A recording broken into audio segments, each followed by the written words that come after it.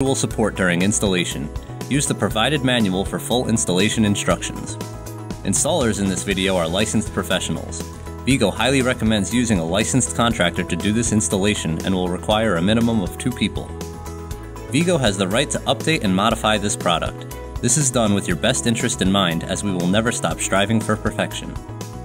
Using installation instructions as a reference, check hardware to make sure all pieces are present. For tech support, call this number. Replacing your shower door can be very easy. First, inspect your package and all of its contents before installation. Verify that the shower door is appropriate for your cabin opening. This model is made in different sizes to accommodate your specific installation needs from 44 inches to 72 inches in width and 66 inches in height for tubs and 74 inches in height for shower stalls. Shower enclosure is made from tempered glass. If mishandled, it could potentially shatter. Never rest the glass directly on a hard surface and be careful not to bang it while moving. We're now ready for our glass panels. First, to simplify this installation, rest the door panel on the inside of the cabin. Keep the panel on a piece of cardboard or something soft to avoid damage.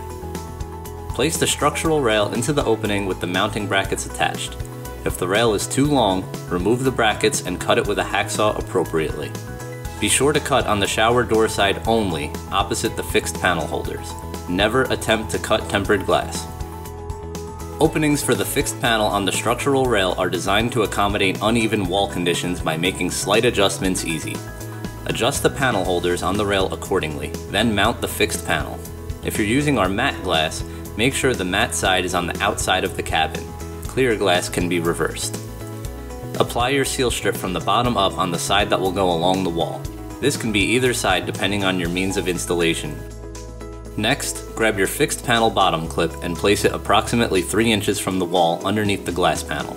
Then, install your bottom guide on the other end of the panel so that the edge of your glass panel ends at the midpoint of the guide.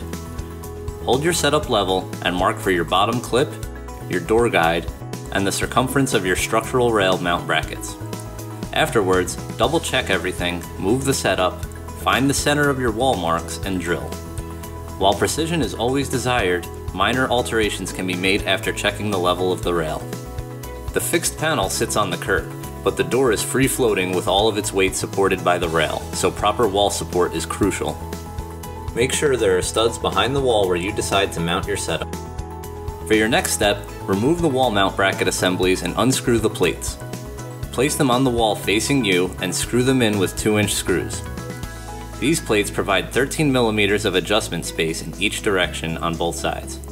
Next, pre-drill holes in your bottom door guide and fixed panel bottom clip, insert anchors, and screw them down using 1 and 1 8 inch screws. If screws are not applicable, such as mounting on top of a tub, the use of epoxy that corresponds to the material of your tub is highly recommended.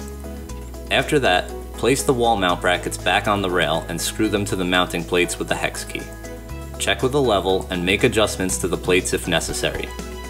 Grab your rollers from the box and unthread the caps with a small head hex key. Place the rollers on the top two holes on your door and screw them back together. You can adjust the height of the rollers with the large hex screw on the back of the rollers. Attach the seal strip to the door panel on the side that closes to the wall.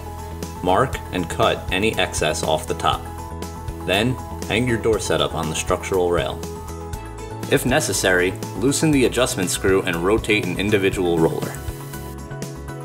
With your door panel resting in the door bottom guide, attach your bottom rollers to ensure the door never pops off the structural rail. Adjust your door stopper so the door can't slam closed and your door handle can't hit the fixed panel. Now it's time to install the threshold. The end of it should go halfway inside the door bottom guide and should rest against the fixed panel. If the threshold is too long, cut it with a hacksaw. If it's too short, use the extension clip. Placement of the threshold is critical to avoid leaking. Next, remove the threshold, apply silicone to the underside of it, and put it back in place firmly. Then, apply silicone to the threshold around the inside and outside of the shower base. Remove any excess. With a washer on both sides of the glass, screw your handle in place. Grab your seal strips and attach them to the inner sides of the door and fixed panel from the bottom up. After they're in place, mark them underneath the rollers and cut the flange portion off of the seals. This will prevent the door from getting caught. Apply silicone caulking along the wall and floor of the shower enclosure interior. Wait 24 hours before using the shower and never allow water to directly hit the door seal strips. To keep your shower looking brand new, wipe down the inside with a water beading treatment similar to one you'd use on a car windshield to keep the glass looking brand new. That's all we have for today. See you next time.